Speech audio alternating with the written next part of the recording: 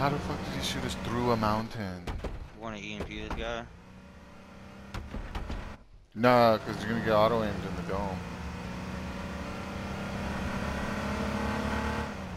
Fuck, I don't want to be up here.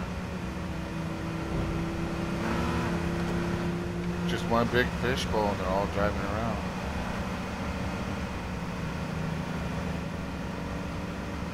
It's probably the safest place right there.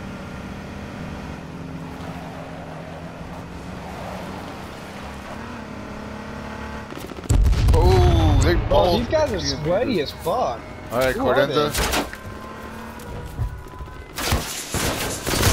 Oh, oh no! So fucking Oh sweaty. yeah, die, motherfucker. This car's gonna blow up.